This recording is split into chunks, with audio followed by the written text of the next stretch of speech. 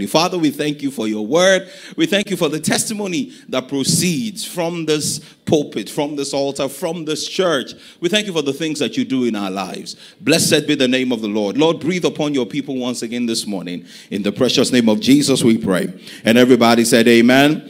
Amen, amen, and amen. All right, last week we started a discussion and a conversation around how to pray for a breakthrough. Uh, we talked about several things. We talked about a lot of things, actually. Um, and I've gotten a lot of feedback from the teachings. Um, you know, um, um some people, you know, anyway, I just, I just, got a lot of feedback. And I believe that it was something that was very helpful. And he answered the questions in the hearts of many people. And today, what we want to do is just extend that thought a bit further uh, because we really want to take our time to also thank God and praise praise Him uh, today. Praise the Lord. And so, we want to extend the thought a bit further and try and deal with some of the things that we probably haven't dealt with when it comes to the hindrances and the things that block uh, answered prayers in the lives of believers, right? Because everybody prays, right? Hindus pray, Muslims pray, Christians pray, pray, uh, Shintoists pray, uh, uh, uh, uh you know, uh, everybody prays, right? But very few people get result. In fact, some people have then made a resolve that the only reason why we pray is for meditation and for peace. In other words, we use prayer as a way of, um, I don't know if you understand what I'm saying. You know, so for some people, prayer is like yoga. Amen. It's just Praise the Lord. But prayer is more than that. Glory to God. Hallelujah. Prayer is more than that. Because if God knows that prayer doesn't work, for Him to ask us to pray and do something that He knows does not work, then He is a wicked God. But the God that we serve is not wicked. How many of you believe that? All right. The Bible says, you know, He is good, He is kind, He is the epitome of love. Praise God. All right. So Isaiah chapter 38 from verse 1. Uh, we'll start reading from there. The Bible says, In those days was Hezekiah sick unto death.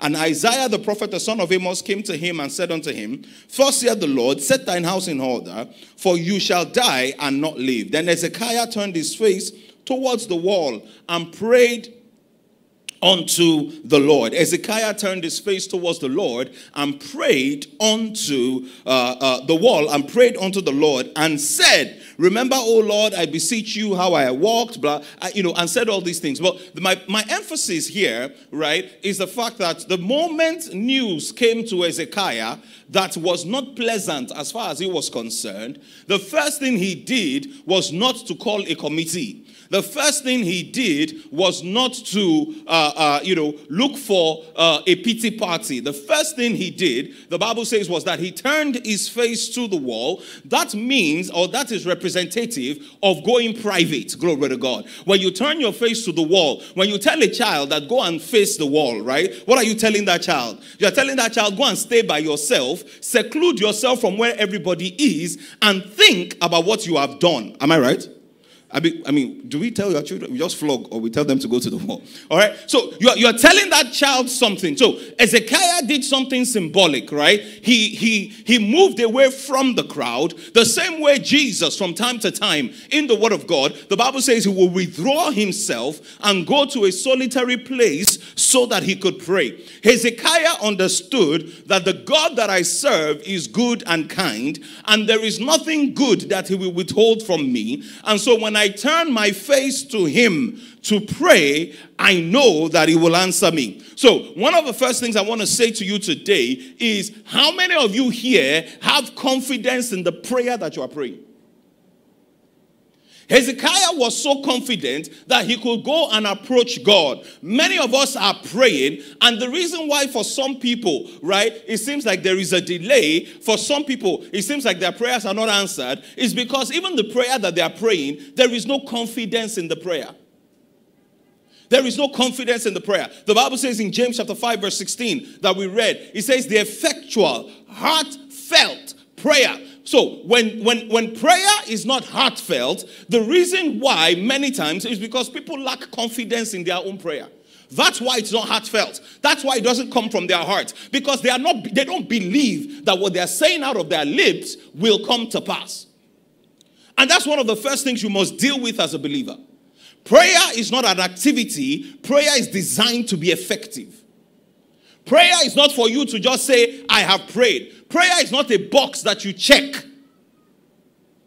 Prayer is something that you engage in because you believe in it. Some people pray just so that when they ask them that have you prayed, they can say yes.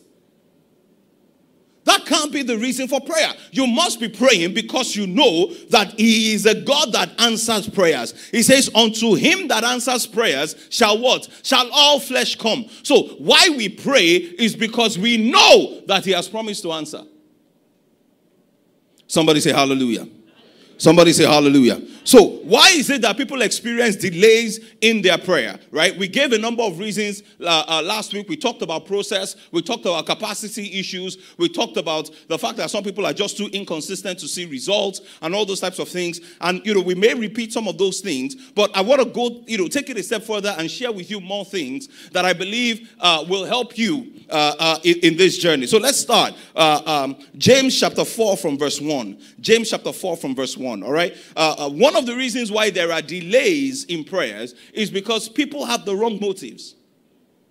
People have the wrong motives. The Bible says, From whence comes wars and fighting among you? Come they not even of your lust that war in your members? In other words, the reason why wars and fighting comes is because there are certain things you desire on your inside that are not right. Anything you desire that leads you to fight cannot be God. That leads you to hurt another human being. I don't know if I'm making sense this morning. Are you seeing the scripture? Because he says that where do wars and fightings come? The reason why people are beefing one another, the reason why there is hate, is because there is something that belongs to somebody else that I desire. That's covetousness. That's what he's talking about. The reason why is that the first time I read this scripture, especially when you get to verse 3, I thought that God was against me having a personal desire. In other words, if I wanted a car, that God was against it. But I remember that what things soever you desire when you pray, believe that you shall read. I mean, does anybody, does you, do you understand what I'm saying? Until I read this thing very well. And that's why it's important to read in context. What he was talking about is not that what you desire a car or you desire a house. Those things are lovely. What he's talking about is the motive for desiring those things. In other words, you want a car only because you know that where you live, the boys will not allow you bring that girl into the room. So you want to be doing your business in the car.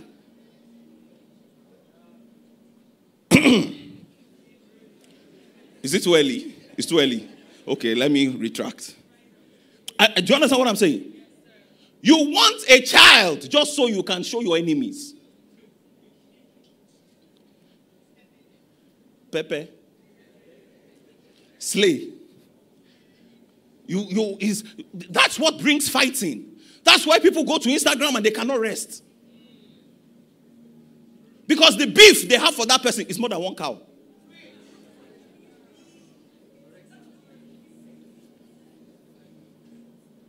Selfish motives. The reason why some of you don't know what you want until your neighbor has it.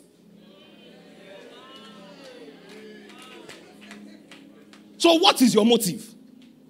You just want to level up. That's all. Praise the Lord. You just that's what you want. You are not interested in the car because your boss, you are fine. But the moment your neighbor has a car, now you are under pressure.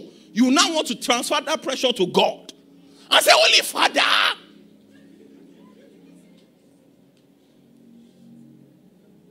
Selfish motive. There's nothing wrong with wanting a car for yourself to go to work, come back home, move around. There's nothing wrong with that. God enjoys all those types of things. But when your motive has been corrupted, that's what he's talking about lost.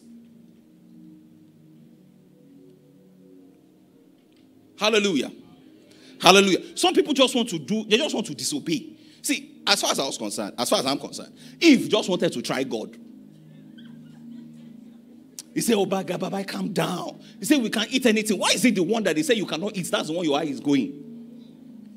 That's lost. Praise the Lord. And the Bible talks about the lost of the flesh, lost of the eyes, the pride of life. Am I right? Hey, that's lost. The one they say you should not touch, that's the one you want to touch. Selfish motives. Glory to God. And what happens is this when you are selfish, your ability to walk in faith is difficult. Why? Faith worketh by love. Because your motive is not for a motive of love, you can't walk in faith. So you'll be doing the activity of prayer, but you will never see the results. Because the engine room from where the prayer is coming from, which is our heart, the engine room is corrupted.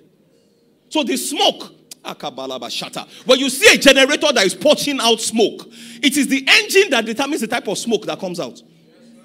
If the engine is clean, you will see clean smoke. If the engine is corrupted, you will see corrupt smoke.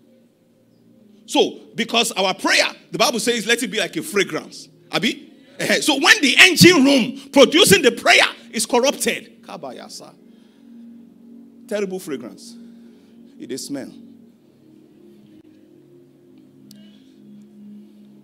Somebody say hallelujah. hallelujah. Why are there delays in prayer? Because people are inconsistent. They are hot today, cold tomorrow. They are inconsistent. Today you want something, tomorrow you want something else. Very inconsistent. Today you are loving God, next tomorrow something has happened. Pastor Bolaji always says it never let a tragedy change your theology. See, eh, one of the things you must know is this. Listen, everybody, please look up here. If you are the kind of person that is trusting, that you really want a fantastic Christian relationship, there are certain things you must believe fundamentally.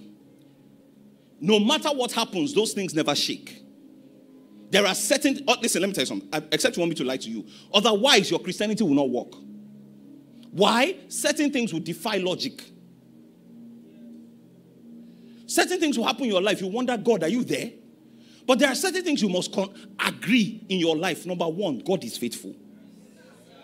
Listen, it does not matter what happens. God is faithful. If anybody drops dead today, God forbid, God is faithful. Paul said, even if an angel comes to teach to you something else that is different, he said, even if it's me that comes and teaches to you something different, he said, there are certain things that does not change. God, Jesus came, he died, he rose from the dead for our justification. God is faithful. You know why? Because when you don't, when you are not sure, certain things will happen that will shake you. Certain things will happen that will move you. And why are people, why do people experience delays in prayer, right? Sometimes the reason why we are not consistent is because of the number three reason that I'm going to give you why people are experience delays in prayer. And that's in Deuteronomy 29 29. You know what the answer is? We don't know.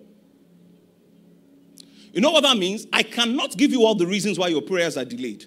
You know why? I am not Jehovah. So I don't try to be El Shaddai so that I shall not die. Somebody say hallelujah. So listen, sometimes your prayers are delayed. Why? I don't know. If the angel did not tell Daniel that the reason why your prayer was delayed was because I was fighting somebody, you know Daniel will never know. Are, are you aware? He will never know. So, in other words, Bible says in Deuteronomy 29, 29 that there are secret things that belong only to God. The reason why is that the day we know everything, we have become Jehovah. So the reality is this, eh? See, eh, let me tell you. My disposition as a child of God is this. I may not be able to explain everything. And sometimes I don't even need to exp- explain everything. I just need to know God. You know why? Bible says there is a peace that passes all understanding, including your own understanding. See, eh? you don't know what happens when you are going through something and there is peace in your heart. Has it ever happened to you before? Everybody else is making noise. That what will you do? What will you do? You, you are not bothered. Do you know what's going on? You don't know. You can't explain it, but you can explain somebody, the God that you serve. Listen, that's why if your Christianity is a transaction, you will suffer a lot. Do you hear what I said? You will suffer. The Christians that suffer the most are the ones that think God is an ATM machine. Holy Ghost. Okay, what's the code of the Spirit? Bang, bang, bang, bang. Holy Ghost, bring out the money. Holy Ghost, bring out the money. Ah, they say I should command. I've commanded. They say, you see, that's what happens. When you're in a relationship, in a relationship, they can tell you that, oh, today's zone is not by commando, it's by something else. There are some estates you go to that they have a daily code. If you don't have the code for that day, you can't enter. Am I, do, do you understand? So what that means is this, and listen, eh, it is relationship that gives you access to that code, not effort. It's because you know somebody in the estate or you know somebody in the security team that gives you access to that code so that you can enter that estate. Not because you can pray, not because you can fast, not because you drive a G Wagon, because with your G Wagon, they will turn you back. I don't know if you understand what I'm saying. So, what gets us many things in the realm of the spirit is relationship with God. See, we can come here and teach you principles, but beyond the principles, we know the principle. Because the principle makes all the principles work. I don't know if I'm making sense this morning. So, I'm saying this to you so that you know that your faith will not rest in the wisdom of men, it rests in God. You know, this week I was having a conversation in the office. And we are talking about how Christians say it is well a lot, it is well a lot. And somebody said, But you know that that song was actually composed out of somebody's misery. And we said, Oh, yeah, that's true. Because what happened was this particular guy, I mean, there are different variations of the story, but the guy that composed the song, what happened? He, he, there was, there was a Chicago fire in his business. He was a successful lawyer and a real estate person. So there was a fire, and the fire burnt the whole of his business. So while, after that happened, his only son, he had five children, four girls, one boy. His only son now died of sickness.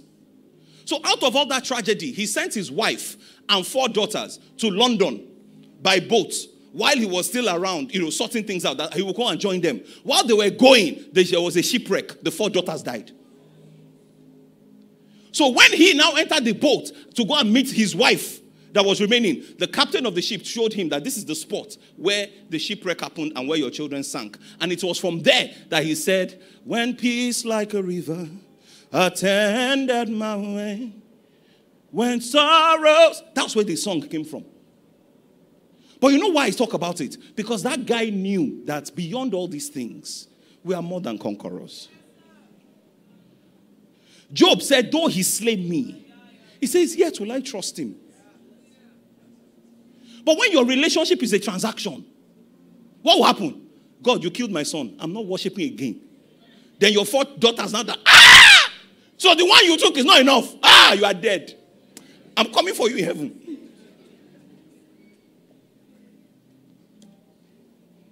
Somebody say hallelujah. hallelujah. So sometimes the reality is, is we don't know, but we trust. We trust. Trust and obey.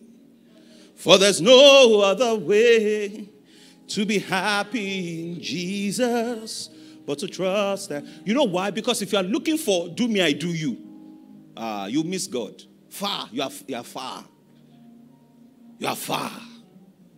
So when we wake up in the morning and we go for next level prayers, it's not just about the prayer point, it's about the relationship. Glory to God. So, how do you pray for a breakthrough? How do you pray for a breakthrough? We talked about a lot of things last week. We talked about having specific prayers that are backed up by the word. We talked about believing. We talked about being consistent. One of the things we talked about is being sensitive, recognizing the way God answers our prayers. See, eh, some of you don't recognize how God answers prayers. And that is the problem. You think, eh, you think that God gives many of the things that you are praying about. Lord, I want a car. God doesn't give cars, He gives you the ability to get the car. So He can talk to somebody to give it to you, or, which is the one that many people don't like, He gives you grace to save to buy it for yourself. You don't know that that's answer prayer. You know why? Some people earn money and put it in holes. The fact that you can earn money, have some to save so that you can buy your car is grace. So oh. Why? There's something called devourer. Hallelujah. And devourer does not have to be Satan, it can be a sick child, a sick cousin. That all your money, that's where it's going. I don't know if you understand. It's not their fault that they are sick. I'm just using that word to describe something. So I'm not being insensitive. Amen. I'm just using the word to describe something. Anything that takes away from you, there is a sickness that you are nursing that every month you need to pay 100K to survive. So the fact that you can save, right, is answered prayers. Praise the Lord. But some of us don't recognize that. Recently, the federal government just released a law right? If you're in Nigeria, you, you, you, probably would know this. And if you don't know, you know. The federal government just released a law that if you're a pension person, meaning you contribute to pension, how many of you have seen that press release? If you contribute to pension, right, you can use out of your pension as deposit to buy a house. Some of you don't know that that's answer prayer. Because the money your employer has been paying into your pension now, when you check it, it's like 50 million. And the house you want to buy is like 25. All of a sudden, that change in policy has answered somebody's prayer. I don't know if you understand what I'm saying. God answers prayers in diverse ways. But the challenge is many of us put him in a box. You need to be sensitive enough to say, Lord, open my eyes to see the answer to my prayer. Some of you, the answer to your prayer is a relationship that is in your life. All you need to do is ask that person one question. Other things will open up. See, many times when people say they are delayed, they are not really delayed. They're just not seeing where God is answering. Because they want Him to come in a particular way. And you can't put God in a box. He is almighty. Do you know what that means? I, I say everything, mighty, everything, all mighty. Glory to God. So God gives you the raw material so that you can get whatever it is that you want to get. It is He that giveth you power to do what? Get wealth. You shall remember the Lord your God, Deuteronomy 8 18, because it is He that giveth you what? Power to do what? Get the wealth. He doesn't give you the wealth, He gives you the power so that you can get it. How do you pray for a breakthrough? Right? Uh, so the, the prayer must be heartfelt. The prayer must be heartfelt. We talked about that. Any prayer that does not touch you cannot touch God. In other words, do you really want this thing? Is this heartfelt? Glory to God. I said, Glory to God.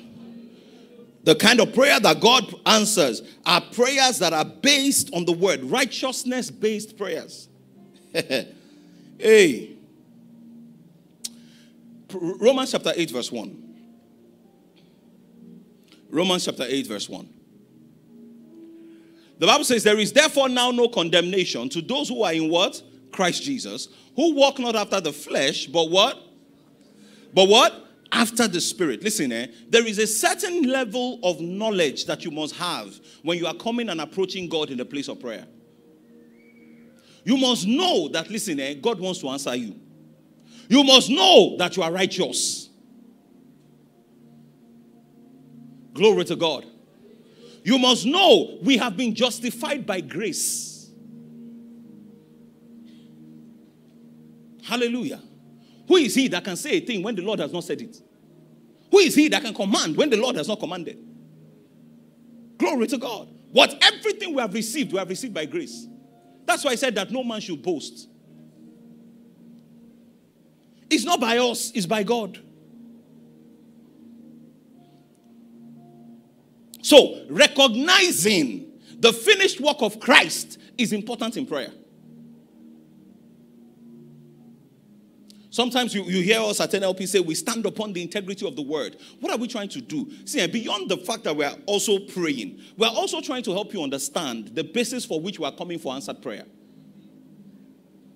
It's so that you can understand that there is something called the integrity of the word of God that does not fail by two immutable things in which it was impossible for God to lie. So when you go to God in prayer, you go understanding that, listen, this prayer has been done. Yeah. Somebody say hallelujah. So your prayer must be backed by understanding who you are in Christ, right? And what your level, what your access in Christ gives you. Oh, glory to Jesus. Oh, glory to Jesus Christ. Hallelujah. When you pray, do you pray from a place of victory? Hey. Or do you play, pray from a place of begging? Say, God, please. God, please. Now beg I they beg you. Now beg I. I know even Shakara again. All my posing, I'm no more posing. God help. Help your boy. Or do you come confident in Christ? Lord, I know that you will not withhold anything from me. Thank you because you make all things available for me. You have given me all things that pertain to life and godliness. Bible says you dear children are of God and overcome them because greater is he that is in you than he that is in the world. This is the victory that overcomes the world. Even my faith. Is that how you come to pray? Or you see yourself as a victim? No, you are not a victim. You're a victor. Glory to God. Hallelujah. In every way, in every phase, in every stage of life, you are a victorious person. Glory to God. That is your nature. That is who you are.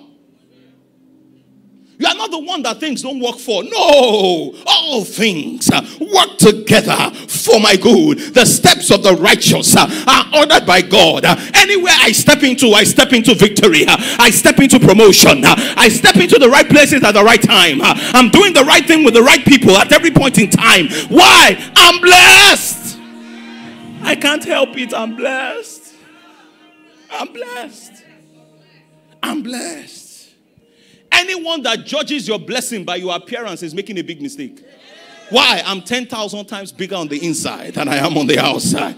I am manifesting what I am on the inside. Just give me time. Maybe you want to see, calm down. You will see, oversee will worry you. Calm down. It, who they used to bring wife for does not used to do like this. Calm down. It's coming.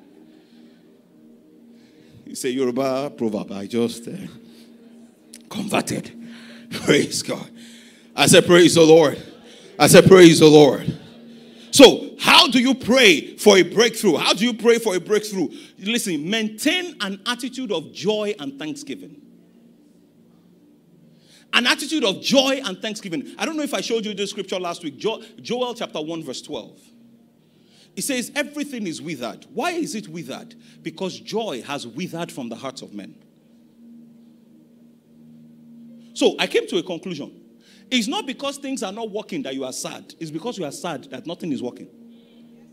Why? There is a way sadness makes you observe only the things that are not working. So that you can compile and buttress the reason for your sadness. I don't know if I'm making sense.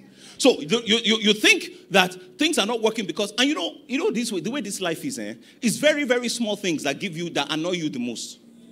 The smallest things. You wake up in the morning, you now have a flat tire. Who I who did I offend? Do you understand what I'm saying? Very, very small things. You know, maybe, you know, somebody was just driving and they splashed you water. Hey, your mood the whole day, you are finished. Just very small things. Things that sometimes when you look back on, you're like, oh boy, what did they do me, sir? Am I okay? Glory to God. It says, The vine is dried up, the fig tree languisheth, the pomegranate tree, the palm tree. These are all trees that normally produce. The apple tree, even all the trees are in the field that withered. Why? Because joy is withered away from the sons of men. When you see people that are not thankful, they are not joyful. Joy and thanksgiving go together. Hallelujah. Joy and thanksgiving do what? They go together. Glory to God. So when you want to, when you are thanking God, right, create an image in your mind of answered prayers. Create an image in your mind of answered prayer. In other words, this and this is why praying specific prayers are important, so that you understand what the answer to that prayer looks like. Okay, you are believing God for a breakthrough. What is the definition of a breakthrough? When it comes, what will you look like? Glory to God. When a breakthrough shows up, what's, what does that look like for you? Hallelujah. What, what is the image? Because, you know, the reason why many of us cannot be thankful is because we don't even know what we're trusting God for. We don't really know like that. We don't, we just like, you know, Lord, God, just do it. Just do, God, just do something. God, just do something. Thanksgiving and joy, these are critical components of prayer. The joy of the Lord is my strength. In other words, after you have prayed, you need that joy to keep you going until you see the manifestation. Somebody say hallelujah. hallelujah. Listen, eh? And you know what? Thanksgiving, because I, I always put the two together. Thanksgiving is the only thing you can do before and after prayer. When your prayer has been answered, you don't need confession again. You don't need consistency again. You don't need any of those things. But before your prayer is answered, you need to give thanks. Even after your prayer is answered, what? You need to give thanks. Jesus, before he multiplied the five loaves and two fish, Father, I thank you. Before he raised Lazarus, Father, I thank you. Those lepers, after they were healed, God, thank you. Thank you is the only thing you can do before and after manifestation. That's why God put it there. Rejoice. Again, I say unto you, rejoice. So, when we are thankful, right, what we're trying to do is create an atmosphere where the miraculous can happen. You know, one of the fallacies that I used to t- believe was that the more moody you looked, the more people will ask you what is wrong with you, and the more they can help you. It's a lie. How many of you have received help like that before? Very few. Very few. You know why? It's a law. To him that has, more will be given. To him that does not, even the little that he has. You know why? See, eh, listen, have you ever seen that?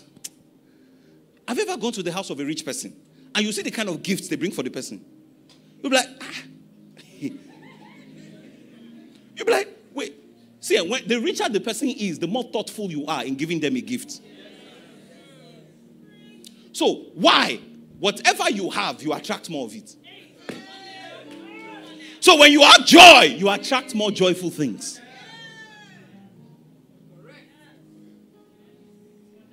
I, it took me a while to understand it. So I stopped being angry. Because some of you wake up in the morning, the first person that receives it is your driver. Where, where have you been? Papa is just there two minutes late. Where, where have you been? Do you know how late I am? But you still get to the office early. Calm down. Calm down. Bible says that Abraham staggered not at the promise of God through unbelief, but he was strong in faith. How? Giving glory to God. If you want to improve your strength in believing God, give, give, give thanks. I'm telling you. If you want to improve your strength in believing God, be more, be more conscious of your ability. See, let me tell you something. Eh? Grateful people are conscious of certain things more than some other things. And let me say, eh, because I just noticed that when you are in the office and you are oozing joy, the work flows. Yeah. I don't know if you understand what I'm saying. The thing just flows. Your relationship with people flow. People want to favor somebody that flows, not somebody that is a joy sucker. That's why it does not work that you now be looking moody. Nobody will invite you for lunch. Do you want to go for lunch with somebody that is moody? No, your mood will change. Why? One rotten apple in the midst of good ones will rotten all the other apple. So you take the apple out. You say, guys, you did not even call me. They can't call you. You say, sorry, we, we just we just went. No, they didn't just went. If you are a joyful person, they'll come and look for you. You say, my God, I better come. There's sadness in this place. Come and help our ministry. But they know you, chief complaining officer. Any small thing, you're angry. Any small thing, you're upset. Glory to God. You are even angry for, you are drinking Panadol for other people's headache. You are more angry than the people that should be angry. You watch a football match, your team loses, you are angry. I said, Do they even know your name? Do they even know your name? No, because, see, let me tell something then. And some of us can be very passionate, right? Because, and I'm talking because sometimes I can be a very passionate football fan. In fact, they don't know this in my office. So one day when I, they heard me talk about football, say, hey, you know about this? They say, we just decided to calm down. Why? Because the thing was getting too much. If my team loses like this, I'm depressed. I'll just be walking around and say, what kind of team is this now? they now had, the last two seasons have been very bad for them. So then they lose, passe, passe. So joy, they go, passe, passe. I say, night life. Like, like, I not do again. Every umbilical cord, I cut it now. Why, why am I saying this? You must identify where your joy is being taken from and restore it back. Some of you, the reason why your day goes on a terrible tra- trajectory is because you start it at a particular point. Change it. Change it from that point. Glory to God. Somebody comes to the office and greets you, Good morning. You say, What's good about the morning? Must you be an evil spirit? Must you be an evil spirit? Joy, thanksgiving, let it ooze from you. It takes nothing for a candle to light another candle. Nothing. The light becomes brighter. Glory to God. And I've said this to you before you have no right to take away someone else's joy because of your own sadness. You have no right. If he's doing you too much, step aside and pray in tongues until joy comes back. And I'm telling you, these are practical things I do. I just get out of the office, walk.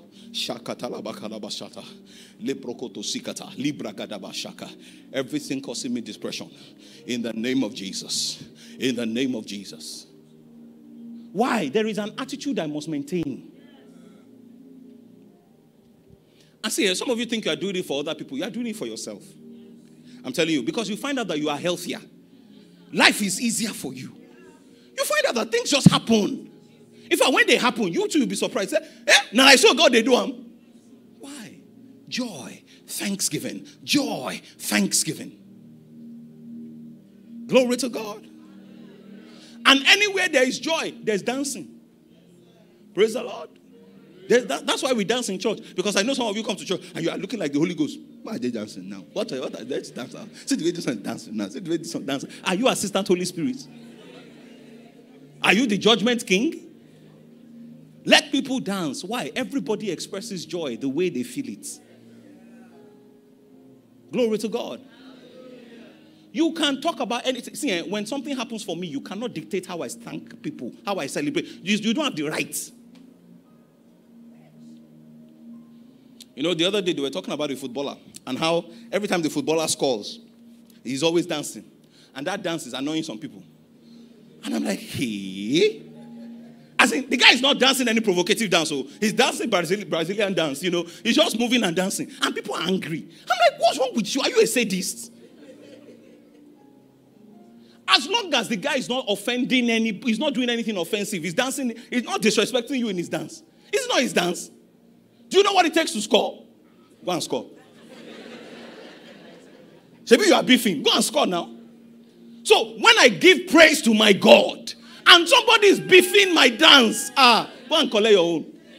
When you collect your own, don't dance. But me, when I collect my own, hey, hey, Oshemila, nu, hey, Mapologo, re. Obato, if you like, be angry. It does not change the anu that I've received. I don't know if you understand what I'm saying.